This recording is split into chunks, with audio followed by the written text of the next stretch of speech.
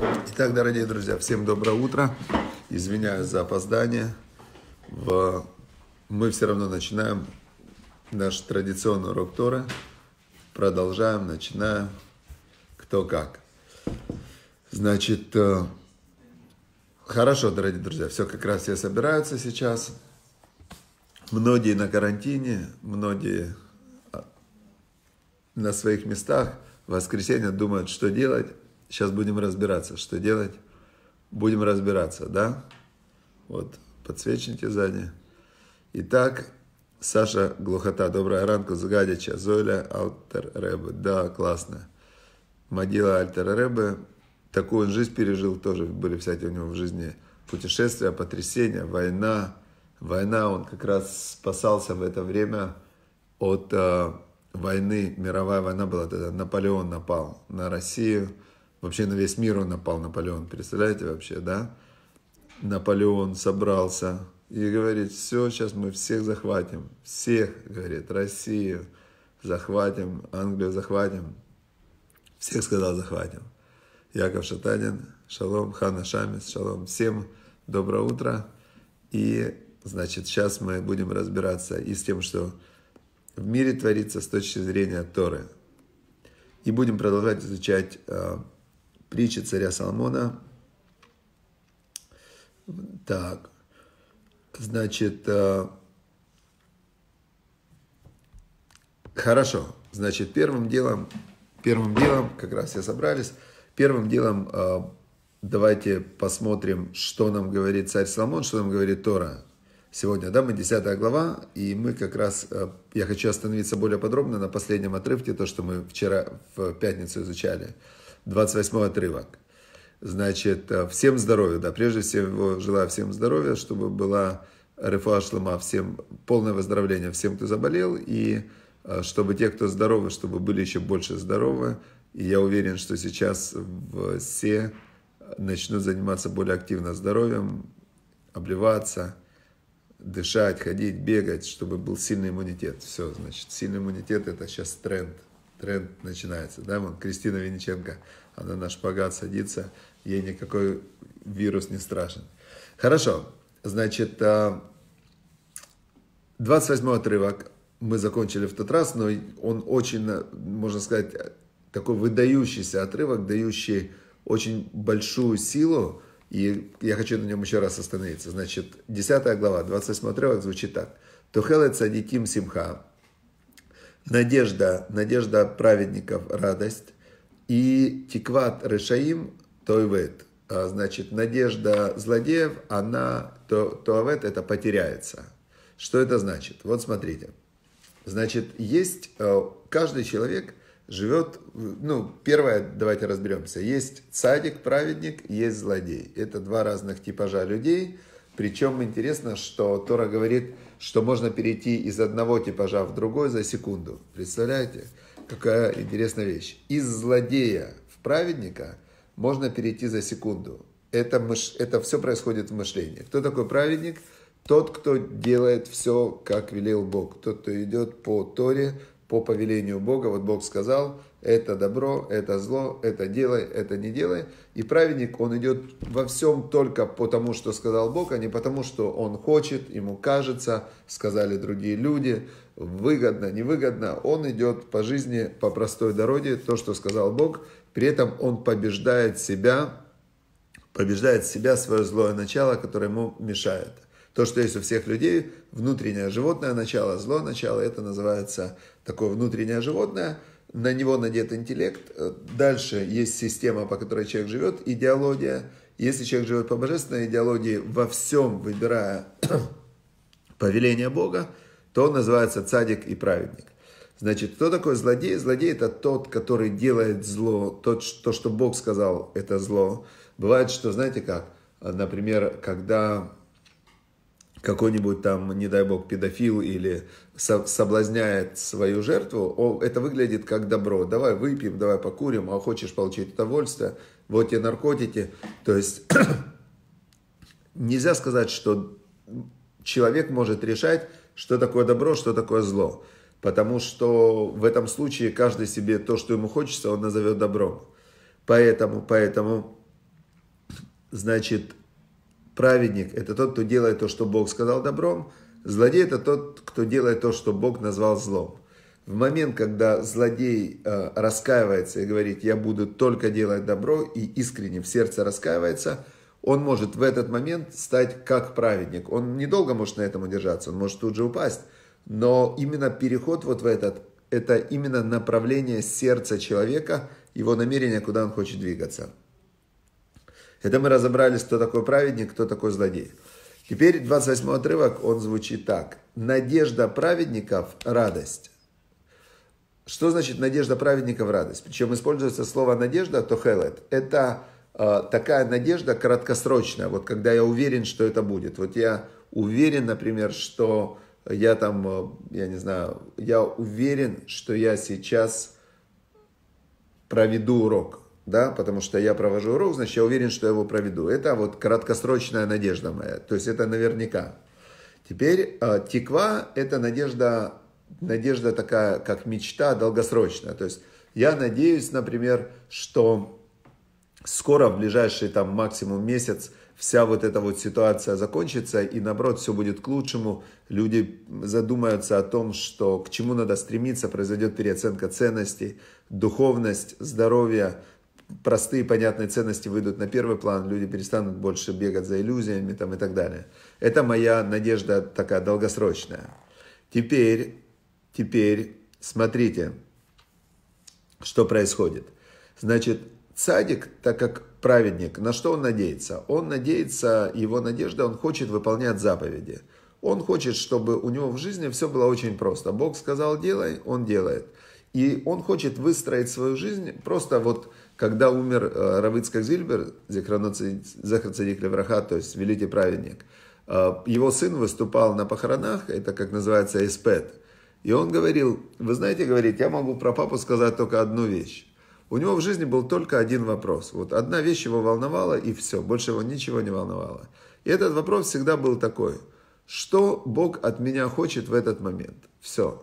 Это был его единственный вопрос. И если он знал, а он знал заповеди, он знал Шулханарук, то есть он знал, что Бог хочет. Бог хочет, чтобы человек выполнял заповеди, конкретно выполнял заповеди, все написано в Торе, что надо делать, что не надо делать, прям прописано все вот так. И когда он выполнял волю Бога, он очень сильно радовался. Поэтому его, есть даже фильм про него сняли, называется фильм о счастливом человеке он был все время счастлив. То есть он настолько был счастливый, вообще это просто невероятно. То есть в любой ситуации он был счастливый. Теперь надежда злодеев э, потеряется. Что значит надежда злодеев потеряется? А на что надеются злодеи? У злодеев есть только одна надежда. Злодеи, они променяли духовный рост служения Богу, заповеди, они променяли на удовлетворение собственных тавод вожделений – и на стремление к богатству и почету. То есть алчность и стремление доказать, что я лучше всех, я круче всех, и вожделение. То есть есть, э, есть в Пертевод мы учили, что три вещи, которые человека выводят из этого мира. Что это за три вещи? Это кина, зависть, тава, вожделение и кого-то почет, стремление к почету. Теперь получается, что злодеи, они выстраивают себе воздушные замки, они надеются на некоторые такие комбинации крутят. Тот же Наполеон, которого мы вспомнили. Наполеон это яркий злодей, то есть это злодей, который уничтожил, убил сотни тысяч людей на то время, который принес несчастье миру, колоссальные. Он был злодей. На что надеялся Наполеон? Он надеялся стать императором мира, захватить весь мир, там, я буду самым крутым и так далее. Что с ним произошло? Его надежда, она разрушилась. То, что здесь написано, надежда разрушилась, его первый раз победили, сослали на остров Елена, потом он с этого острова второй раз начал восстание, опять он там до куда-то дошел, и его опять победили и сбросили. То есть его все надежды сдохли, и они исчезли, то, что написано Таавет. Значит, возьмем другого злодея, например, тот же Гитлер, тот же Сталин, чтобы стерлись их имена. Все их надежды, они стерлись. Ничего из того, что они планировали, у них не получилось. И, а, а праведник, он все время радуется. Теперь, что мы отсюда учим? Значит, мы отсюда можем изучить следующую вещь. Что нужно ставить себе краткосрочные цели и радоваться их выполнению. То есть конкретно вот сделал цель, красавчик, красавчик, красавчик. То есть нужно идти маленькими шагами. Никто не знает, что будет завтра. То есть я вам честно скажу, вот сейчас вот эта сегодняшняя ситуация, она абсолютно, ну то есть абсолютно непонятно, куда она двинется. И можно говорить, что все будет хорошо, можно. Можно говорить, что все будет нехорошо, можно. А, я считаю, что все будет хорошо, то есть как бы, но это тоже мало ли, что я считаю, то есть мир закрыт и так далее. То есть мы видим, что все рассуждения это воздушные замки. Но что я точно знаю, абсолютно точно, что, например, цдака, она спасает от смерти, что каждая заповедь там продлевает жизнь, что Э, добро, и это, это доказано, передоказано учеными, вообще прям передоказано, что когда человек находится в позитивном эмоциональном состоянии, у него сильный иммунитет. Когда он боится, у него иммунитет падает. Все, это понятно. Теперь каждый из нас может э, краткосрочно, ничего не произошло. То есть жизнь она как была, так и есть. И ты можешь спокойно себе разбить свой день, свой, э, свой день, свою неделю на маленькие конкретные шаги, и каждый шаг делать много добра и избавиться от иллюзий. То есть, чем кризис хорош, он избавляет от иллюзий. Он просто вот все иллюзии рушатся и показывается все, как оно есть. Все, это был 28 отрывок, мы еще раз повторили то, чем закончили в прошлый раз. Да, всем шалом. Теперь, 29 э, отрывок, написано так. Маос литом дерахашем. Маос – это твердыня такая, защита. Там это человек, а, который, знаете, ну, переводят это там без, непорочный, простой. Вот знаете, там, я не знаю, как сказать на русском, там Иштам. Яков был Иштам. Про Якова, про Якова, про отца нашего, который был Израиль, да, который получил первое имя Израиль. Про него говорит Бог, что он был там. Там это простой и я бы сказал, это такой простой, да, то есть простой, у него нет никаких сложностей, вот есть, есть простая жизнь. Я, Бог, заповеди, все, это называется простой человек. Теперь э, твердыня и защита для простого человека – путь Бога. То есть он простой человек, он, у него нет никаких сильных размышлений и расчетов. Он говорит так, секундочку. То, что мне Бог сказал делать, Бог меня сохранит, Бог меня поддержит, все. То есть у меня все в жизни. Э, я делаю свое, Бог делает свое, и у него нет никаких вот таких вот, знаете, там, э, как сказать, когда человек долгосрочные многоходовые комбинации, то у него, у него очень энергия, это все очень сложно. Я вам скажу простую вещь. Вот э, я преподаю ораторское мастерство уже 12-14 лет. И кто говорит лучше всех? Тот, кто не думает, что сказать. То есть тот, кто не думает, что сказать, у него нет внутри постоянного диалога, что я скажу, как я скажу, что про меня подумают.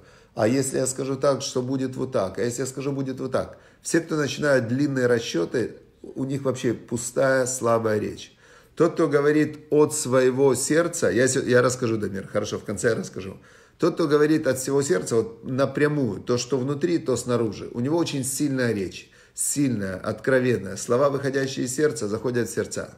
То же самое в жизни. Тот, кто там, кто настоящий, да, там это такой простой настоящий, что внутри, то снаружи. Для него Бог, путь Бога, это твердыня. То есть ему все, что Бог делает, он уверен в себе, уверен в Боге, все будет хорошо. У Махита Лепуэль Авен. И тот же самый путь Бога, та же самая ситуация, она является сокрушением для тех, кто делает зло. Грех делает зло. Все, то есть любая встряска, она, она показывает мощность системы.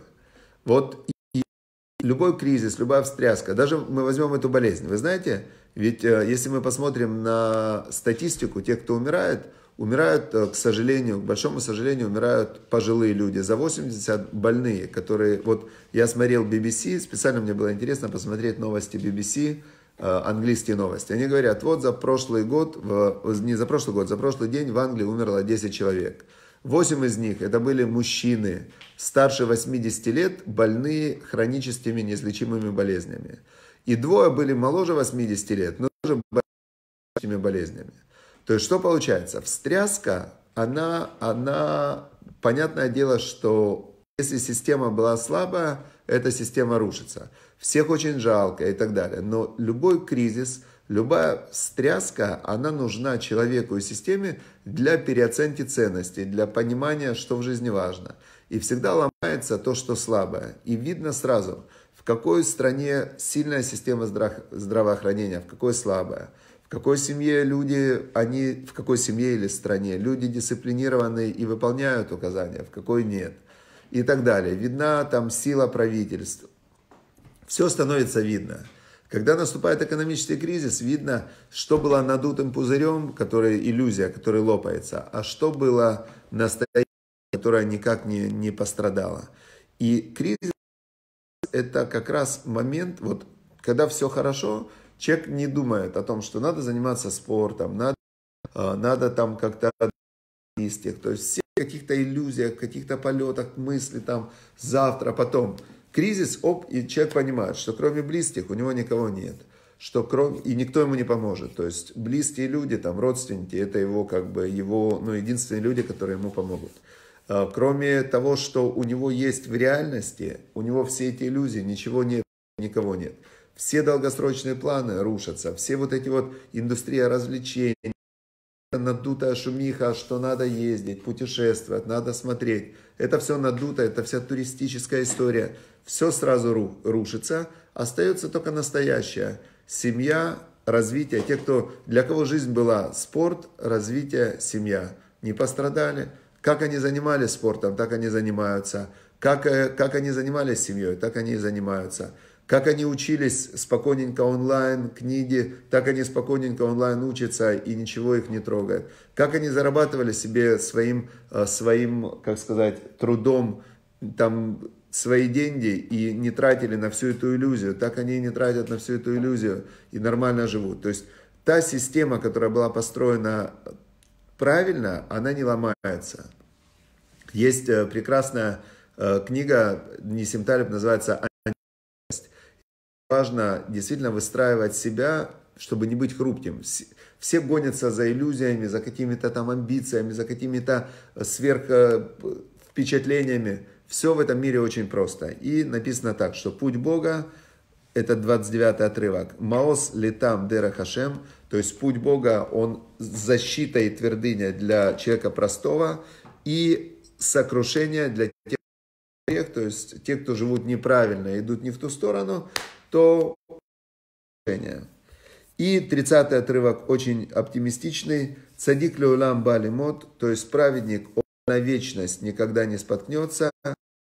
Им лой ишкану не унаследует землю. Это есть здесь два значения. Есть значение, которое говорит, что человек вообще, в принципе, это духовное существо, которое живет, душа, которая живет в биоскафандре. Есть биоскафандр, есть духовное часть, которая является основной, и есть который, э, который запрограммирован обществом и окружающей средой, это некая такая, как, э, как вот фильм программируется в компьютере, да, также у каждого из нас в голове есть некий фильм, что такое мир, кто такой я, и этот фильм, это программа, это как вот в компьютере нет же фильма живого. Есть просто некий там код, который на экран выводит, э, выводит картинку. Также у человека в голове то же самое. Есть внешняя информация, которая зашла в мозг. И у каждого внутри такая есть модель мира, как матрица. Теперь от того, кем ты себя считаешь, зависит, э, как бы, куда ты двигаешься. И человек духовный, он, он говорит, я это душа, это биоскафандр, интеллект это компьютер. И он себе спокойно двигается в сторону вечности. Теперь тот человек, который живет по, по системе, по идеологии, по модели мира божественной, он называется праведник. То есть все живут в придуманном мире. Атеисты живут в придуманном мире, в котором у них идол это Дарвин и там какой-нибудь ученый Хопкинс. А религиозные люди, они живут в виртуальном мире. Ничем не отличается мир веры атеиста от мира веры религиозного человека. Они просто верят в разные вещи. У них их модель мира держится как на клею, на их вере, Только религиозный человек, он называется цадик, если он выполняет предписания, которые Бог сказал. И он, написано про него, сказал царь Соломон, что праведник навсегда не споткнется. То есть ему все хорошо, то есть мы до этого учили, что он всегда рад. У него, я вам расскажу историю короткую. Равыцкак Зильбер, упомянут праведник добру, он убежал из Казани, потому что его хотели посадить в тюрьму КГБ за то, что он был религиозный человек. Тогда захватили власть вот эти вот э, бандиты-преступники, и он вынужден был из-за того, что он оставался религиозным, бежать в Ташкент, чтобы там соблюдать заповеди. Потом к нему присоединилась его семья, и он жил в Ташкенте. И вот в Ташкенте было, э, были еще другие религиозные люди, и как с одним бресловским хасидом они э, переносили там святые книги с одного места в другое, что-то они делали. И, значит, что получается? Этот хасид Бресловский, он упал и разбил ногу до крови. И он разбил ногу до крови, он вскочил и начал танцевать. Начал танцевать и радоваться. Говорит, класс вообще. А почему он так радовался? Есть, э, когда человек делает то, что называется грех, то у него есть, э, Бог же он любит, он хочет, чтобы каждый дошел до вечности. Это как игра такая. Но эту вечность надо заработать, как компьютерная игра. И когда человек грехи, грех это когда он нарушает э, правила игры, которые установил Бог, создатель игры. И когда человек делает грех, дальше, если он раскаялся, он внутри, все равно же это все виртуально он говорит, эх, жалко, что я тогда сделал грех, жалко. И он так страдает, переживает, и он обстер этот грех. То есть это называется раскаяние. Теперь, но есть такие грехи, которые так легко не сотрешь. И для того, чтобы полностью стереть след как бы этого греха, то человек здесь получает страдания. И этот хасид, он радовался, что он сейчас получил страдания, он знал, что это страдание от Бога, так как он выполнял заповедь, он как выполнял заповедь. И в этот момент он понял, что то страдание, которое он получил, ему стирает какое-то у него было. Он из-за этого радовался, танцевал и все. Теперь, значит, садик, который знает точно, что он с Богом как одно целое, он во всем все время думает, что Бог сказал, как Бог сказал, как делать он никогда не споткнется. Почему написано «никогда» это имеется в виду на вечность? Потому что он уже живет в вечности. Он даже находясь в этом мире, он живет в вечности. Теперь злодеи, они не будут, не, не унаследуют лойшкину, не будут они жить на земле. Злодей даже здесь, когда он живет, он все время боится, он все время волнуется, он делает зло, потому что он понимает, что у него нет никакого продолжения, это раз, у него вечности нет. Но и в этом мире он все время боится. Тот, кто делает зло, он же понимает, что это же бумеранг. То есть ты делаешь зло, на тебя сразу же мир начинает катить обратно. Он пошел войной на мир, его мир стер. Гитлер, чтобы стерлось его имя, пошел на мир войной, его мир стер. То есть любого злодея мир стирает и в физическом плане, а в духовном у них ничего не было, они сами себя стирают. Все, давайте подведем итог. Тот, кто служит Богу, он радуется. Кто радуется, ему и здесь хорошо, и там будет хорошо. Все, это вот такой простой итог. Теперь ситуация, которая происходит, она, в принципе, это встряска системе. А, по опасности нет никакой особенной, да, то есть опасность не больше, чем была вчера и позавчера. Психологически это огромная сейчас идет встряска для мира, для каждого человека. И дай Бог, чтобы мы вышли из этой встряски более религиозными, более умными, более, более добрыми, более спокойными. И чтобы мы каждый день просто были заняты тем, чтобы выполнять заповеди Бога, заниматься спортом, то есть свой скафандр держать в хорошем состоянии и не увлекаться чрезмерно всякими удовольствиями, вожделениями, ну и, естественно, не делали греха. Все, удачи вам, успехов, чтобы все были здоровы, чтобы выздоровели все больные, чтобы вся эта история закончилась быстро, и чтобы эта встряска пошла всем нам на пользу, психологически, физически, эмоционально и в первую очередь духовно, потому что все, что происходит в этом мире, оно происходит причина в духовном мире и цель в духовном мире. То есть все, что здесь происходит, это отражение духовных процессов, которые, которые все они ведут нас, потому что конец как бы у всех один. Это или ты живешь вечно, твоя душа, как луч, она заходит в другую личность, и она будет жить вечно. Все. Всем удачи, успехов.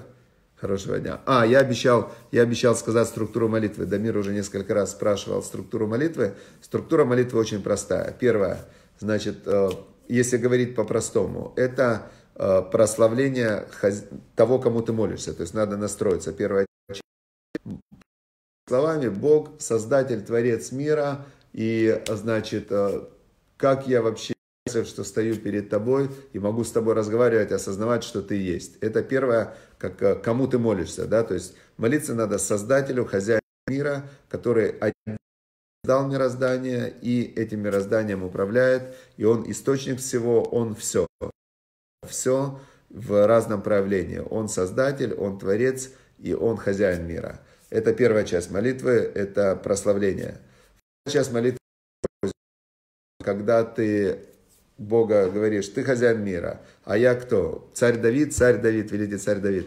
Он про себя говорил. А кто я? Он говорил, я червяк, вообще не человек. То есть я, меня нет, я просто набор каких-то желаний, да, которые просто желания, инстинкты. И он говорит, но тем не менее я тебя прошу. И он в основном просил царь Давид, псалмы есть, псалмы Давида, он просил, а, у него было одно желание приблизиться к Богу, но тем не менее он еще и просил уничтожить всех врагов Бога и у него были еще какие-то просьбы тоже. У каждого из нас есть просьбы о здоровье, о близких, о деньгах, о благополучии, чтобы не о том, чтобы любить. То есть просить надо все, что тебе нужно, потому что когда ты просишь, ты этим выражаешь свое намерение, что тебе это действительно нужно. А дальше. И в конце нужно благодарить за все, что уже Бог тебе дал. Спасибо за то, что я стою, могу говорить за день, за семью, за здоровье, есть руки, есть ноги, есть глаза, есть еда, есть вода, есть все. Спасибо, спасибо, спасибо. То есть нужно э, именно идти через благодарность. Как конкретно молиться? На портале Ваикра есть, э, есть статьи на эту тему. Э, можно погуглить, набрать в гугле, как молиться. Можно набрать на сайте Талдот.ру, как молиться молитва еврейская. То есть я еврей, мы изучаем Тору, у нас э, очень все структурировано, идет прямо от Бога, от Маша, от Моисея. Если вы не еврей и вы смотрите эти уроки, то тоже э, почитайте, узнайте, как это все работает. Или я не